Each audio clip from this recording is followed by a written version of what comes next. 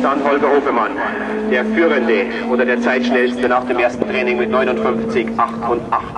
Er hat natürlich mitbekommen, dass die Konkurrenz herumdoktert an der 1 Minute Schallmauer. Auch Dieter Rottenberger, die 395 im Ex-Rundstreckenauto im 3er BMW mit 10041. 10041.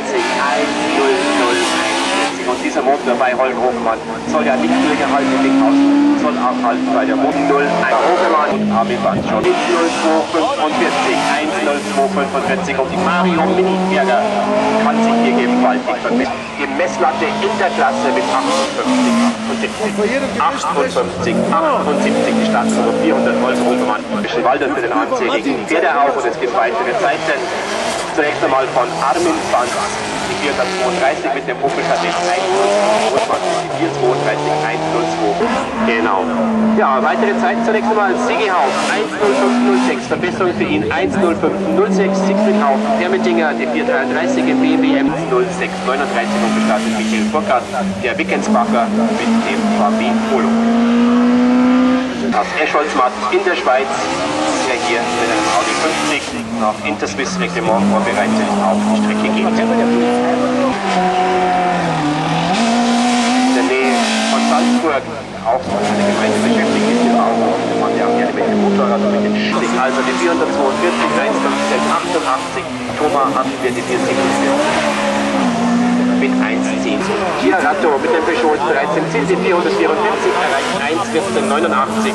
Michael Burkhardt war schneller im VW Polo 443, 1,11. Und Franz Reuter ist im Ziel mit dem Ford Fiesta, die 450, 1,0640, 1,0640. Meinder mit dem Audi 80. Der Mann, der ansonsten auch der junge Mann mit einem VW Passat zum Beispiel unterwegs ist und der noch einen Opel zu Hause stehen hat. Also ein Auto bei Nicola Egidio, der Kfz-Mechaniker, der Italiener aus Ehrenalm, noch vor dem Zurück heute, morgen hier der Schlagen. Ja, und die 458, das ist der Andreas Kreppmeier aus Kempten im Allgäu, 78.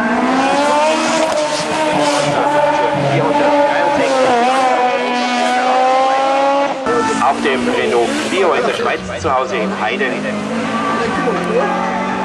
Papun Renault Clio Cup, alles das hat er bestritten. 1998 konnte er mit den Schweizer entscheiden. Christian 50. Das ist der Start von Christian Auer mit dem Mondeo. Ja, vorwärts gehen wird es jetzt auch mit Andreas Marco, dem führenden Mann in der österreichischen Tourenwagen-Bergmeisterschaft, auf dem Audi TW. 20 Jahre ist er jung.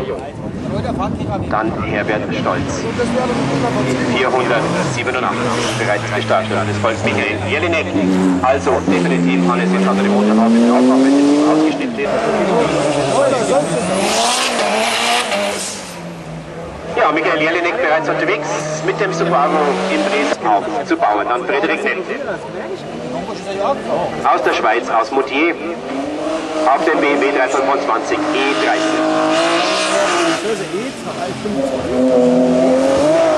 Dann Diesel das macht er jetzt auch ein bisschen schwarze Rauchentwicklung und es gibt erste Zeit. Zunächst einmal für Philipp Reindl für die 485 10393. Herbert Stolz die 487. Valerie Ullmann aus der Schweiz.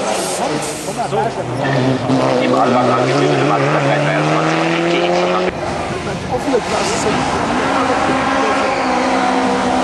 Moment ist der Führende der Salzburger Landesmeisterschaft.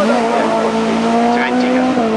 12 Startnummer 489 bei uns steht Reto Meisel an der Linie, der Mann aus Neugern in der Schweiz, der diplomierte Automobilkaufmann und Betriebsleiter, der unterstützt vom FC Heilbad Heiligenstadt.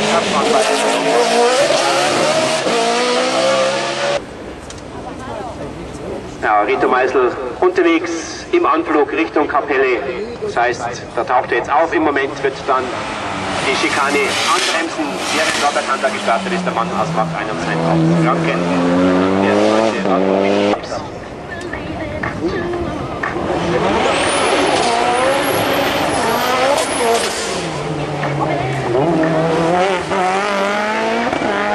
Meisler 55, 58. 38, Reto Meisel die 493, Felix Beiner. Aber hallo, jetzt geht aber hier die Post ab. Bilderbuchstart von Hans Schori bringt die Kraft hier richtig auf den Boden, zieht einfach durch, gleich zu 50. Und Georg Blaser macht sich startbereit im BMW 320 Stadtfahrer. Wir haben schon so viele